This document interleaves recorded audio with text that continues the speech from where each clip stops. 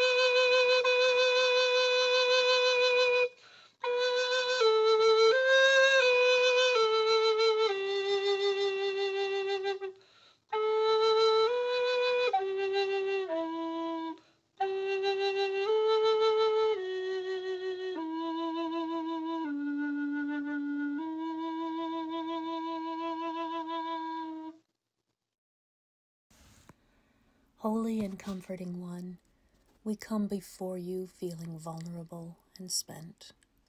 Our souls weep, and we wonder how we will get through a time when bells ring and gifts are exchanged and the word merry surrounds us.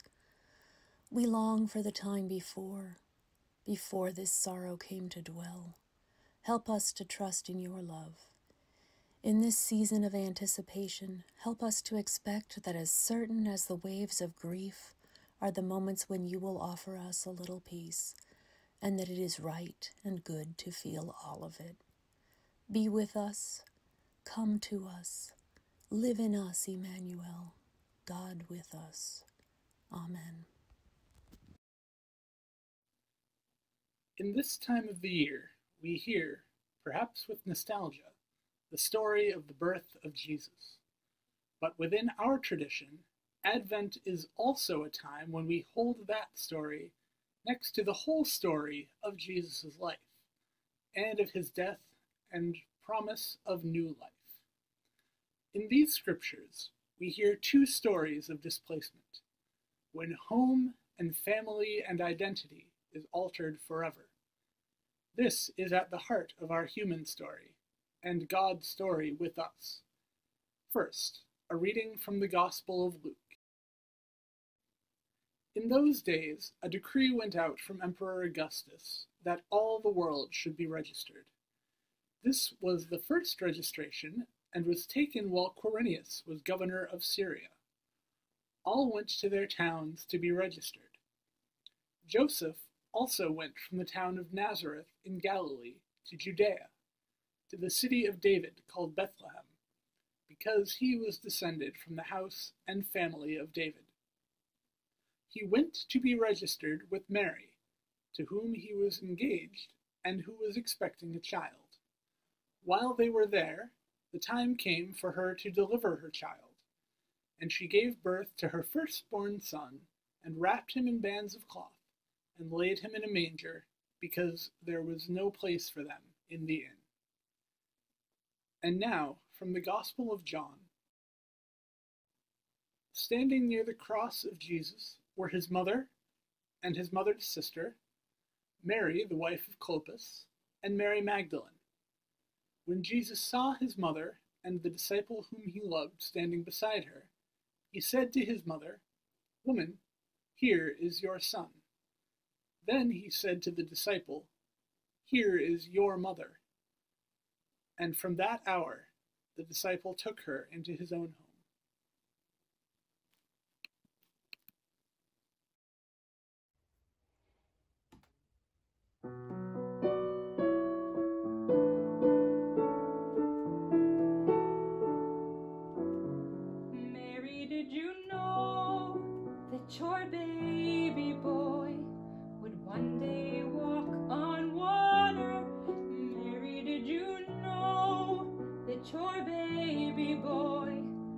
save our sons and daughters.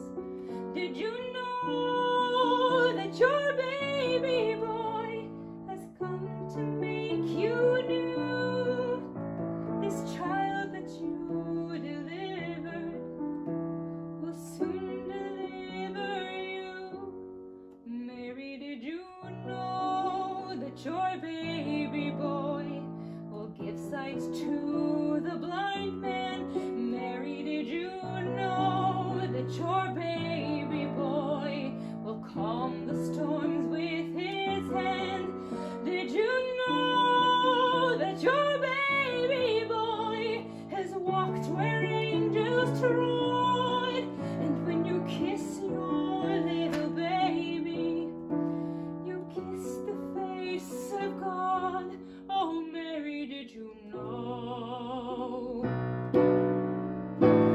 The blind will see, the deaf will hear, the dead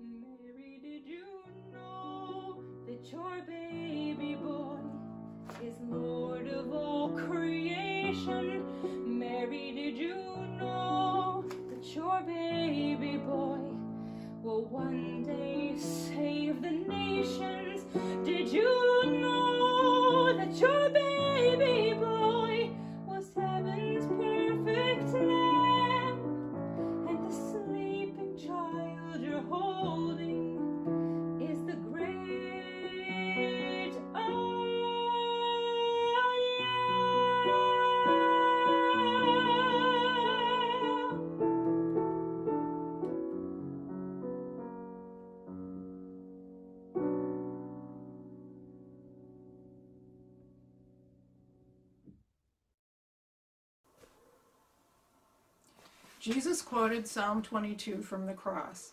Sometimes we feel this sense of abandonment. My God, my God, why have you forsaken me?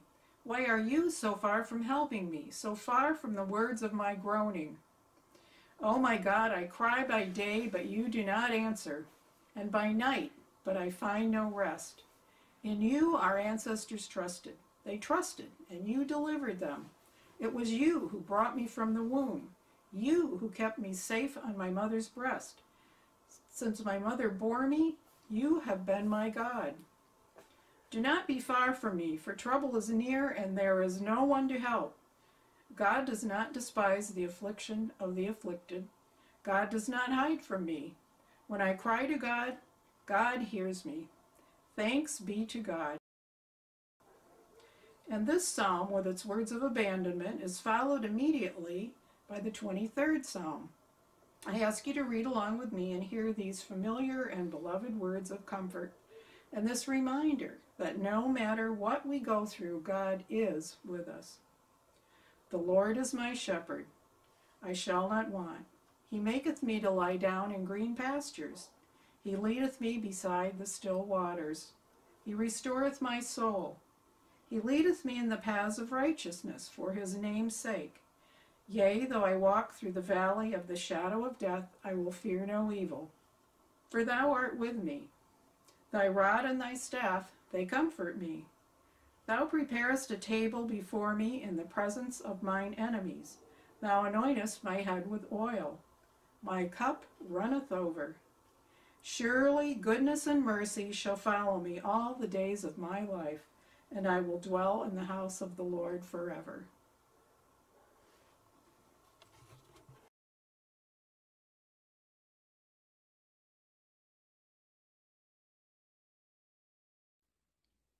A prayer for those who mourn. God of wisdom, we come to you this Christmas season, tired, in turmoil and in pain. As the nights have grown longer, so has darkness grown and wrapped itself around our hearts. In this season of longest night, we ask your healing blessing upon all that we carry in our hearts sorrow we fear may never end, wounds we cannot even put into words. Lord, hear our prayer, and in your merciful love, answer. God of mercy and compassion, there are those among us who are grieving over what might have been. Death or loss or terrible hurt has changed our experience of Christmas. We remember that once it was a special day for us too, but someone or something precious has gone away from us in this life. We have lost a beloved, a job, a goal, a cause, a dream. We find ourselves adrift and alone. We are weary from the journey, and we have found no room at the inn. We come to you seeking rest and peace and shelter from the storm. Lord, hear our prayer, and in your merciful love, answer. God of grace, in the spirit of the season, grant us all that we need to comfort us as we journey through this Christmas season. We ask that you shelter and sustain all those of us, both here and throughout the world, who wander or want or weep or are heavy laden, that we may be lifted up in courage and journey on in thy peace. Lord, hear our prayer, and in your merciful love, answer. God of love, in this Christmas season, we embrace and offer up to you all that used to be, which is now lost to us and cannot be again. With celebration all around us, memories of what was and fears of what may be weigh heavy on our hearts. Please hold us close in your embrace. Be near to us this night until the light returns and morning comes. Lord, hear our prayer, and in your merciful love, answer. Keep watch, dear Lord, over those who work or watch or weep this night, and give your angels charge over those who sleep. Tend the sick, Lord Christ, give rest to the weary, bless the dying, soothe the suffering, pity the afflicted, shield the joyous, and all for your love's sake. Amen.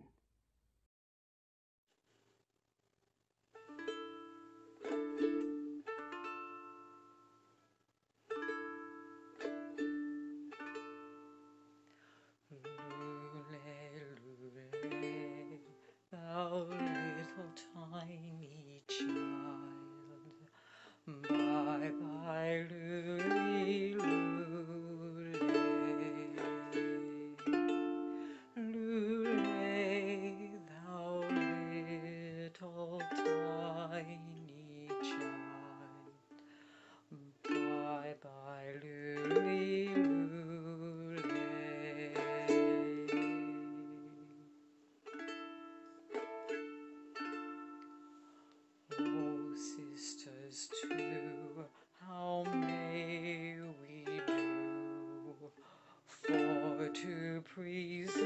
This day,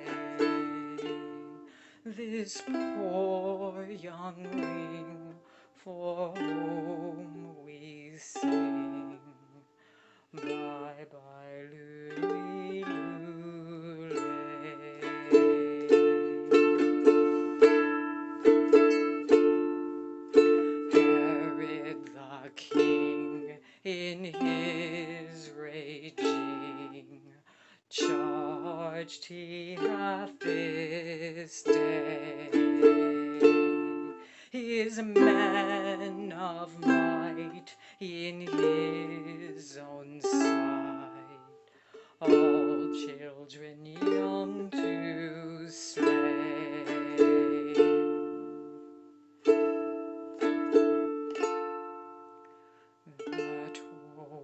is me poor child for thee. And ever mourn and say for thy parting never say nor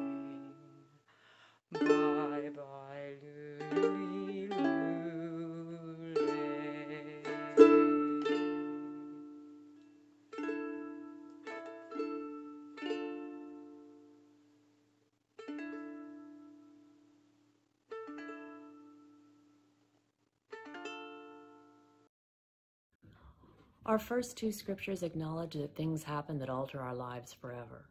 This can leave us not knowing how we belong in the world, feeling that we are without a home. There seems to be no room in the inn, so to speak. Home is elusive. The places where we found joy seem altered forever. And many of us are not able to go home to celebrate with our loved ones because it is not safe to do so. From the cross, Jesus sees his mother's grief, but also that she will be without a home, literally, because in ancient society, a woman's place was attached to her male family members. This act of compassion is one we can imagine for ourselves, that in our displacement comes the possibility that we will once again find a place in this world while still holding dear the place in our hearts for those we have lost, and that we will eventually be able to shift our purpose and access the never ending joy that is our birthright as children of God. This is the promised resurrection of our lives. The beloved child in a manger, without a home at birth, is still with us in this moment of feeling that our joy has no place to reside in our lives. People have undergone unprecedented loss this year. Family and friends have succumbed to death in this pandemic. Millions have lost economic security through loss of jobs. Some have lost businesses they have built over a lifetime. Most of us have lost our beloved rhythms of life that felt familiar and gave our lives the richness of gatherings and adventure. And we can name so many losses related to hatred and violence. Throughout Advent, we have proclaimed hope, love, joy, and peace in the midst of difficulty. This is the church's gift to the world that our faith story is grounded in the presence of God that came and dwelt among us in the midst of hardship. But as we near the longest night, the winter solstice, we hold a blue Christmas service to acknowledge and remember those people and things we have lost. It is important to name that sometimes hope, love, joy, and peace are distant feelings when we have encountered so much loss. The anticipation of renewed grief as Christmas Eve approaches can be difficult to bear for many. We pray that God helps us move through these feelings and funnel our heartbreak in ways that, while not alleviating it totally, gives us space for remembering. This is especially important in 2020 because we often were not able to gather and ritualize our loss in the ways we usually do.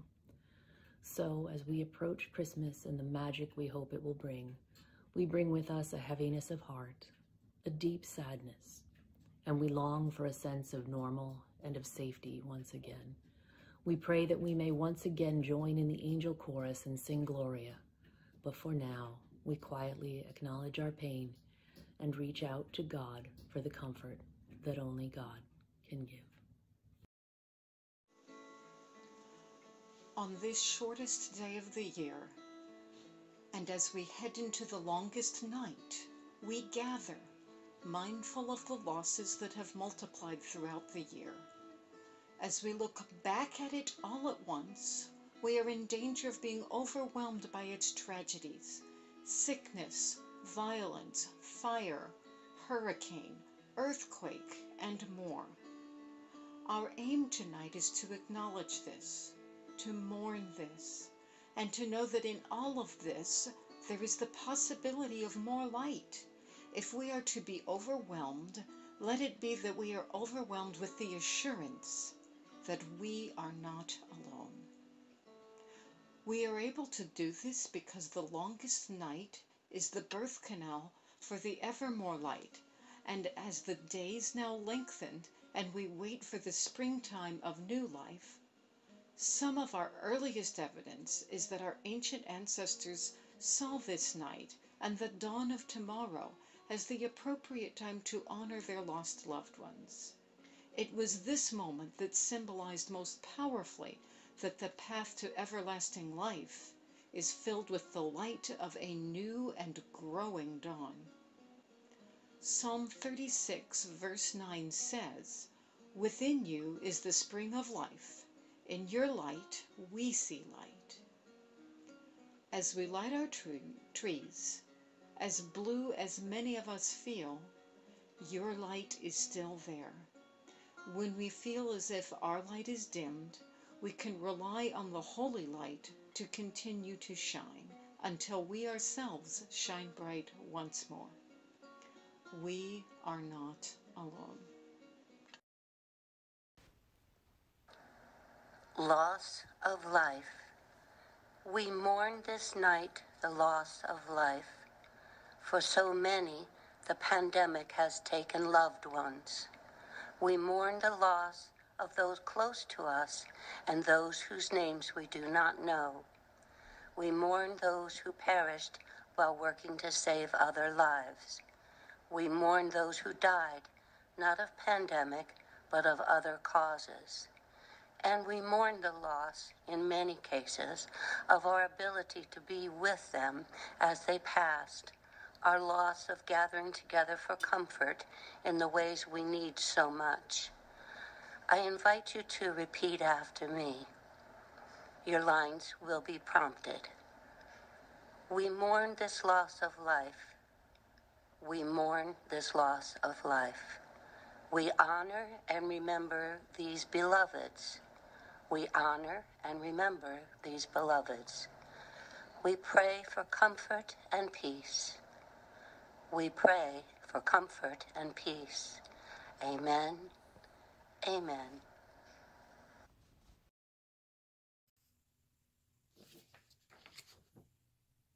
We mourn this night the loss of livelihoods.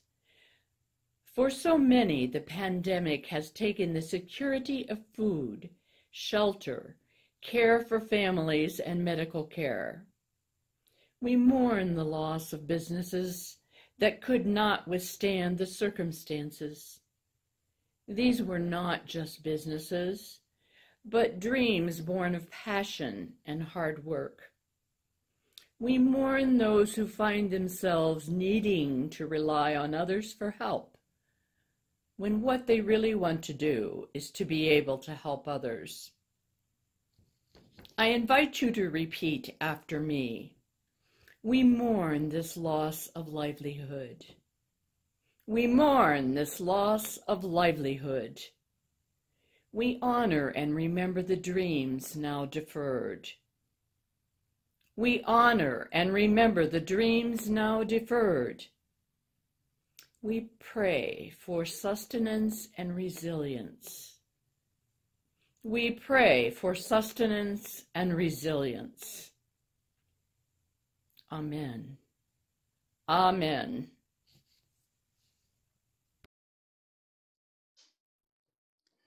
We mourn this night the loss of love. Our society's dilemma centuries in the making, has created such hatred, suffering, oppression, and ill will. We mourn the loss of those whose lives were lost to brutal- brutality and violence. We mourn the loss of our ability to love one another despite our differences, as beings who des- deserve to be seen for their inherent beauty and worth.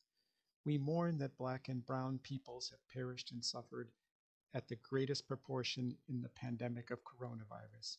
We mourn the pandemic of racism that still plagues the fabric of our communities.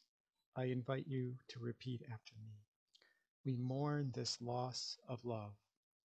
We mourn this loss of love.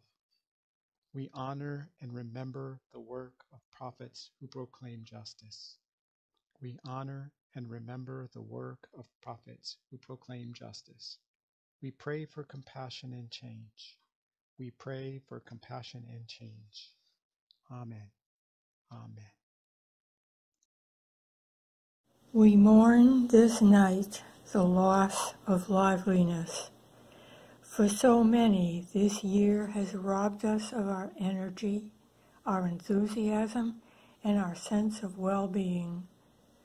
We mourn teachers and leaders and caregivers and workers who are struggling to help those in their care, themselves exhausted and needing the sustenance they give to others.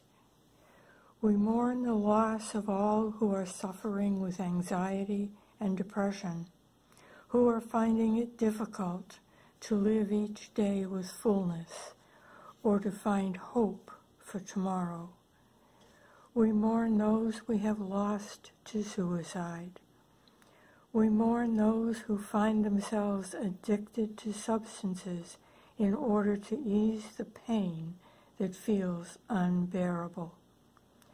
We mourn those who are experiencing their place of shelter as an abusive place from which they struggle to escape. I invite you to repeat after me. We mourn this loss of liveliness. We mourn this loss of liveliness. We honor and remember that each person is precious and whole. We honor and remember that each person is precious and whole. We pray for recovery and renewed vigor. We pray for recovery and renewed vigor. Amen.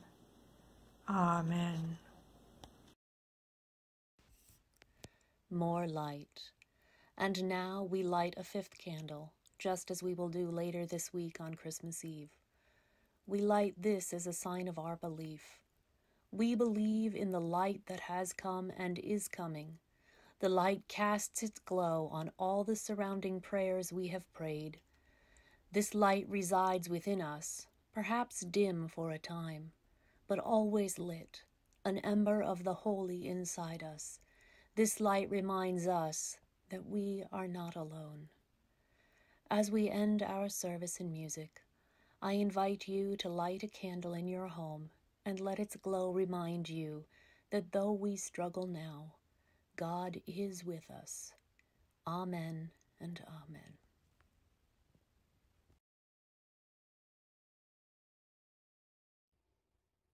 Oh,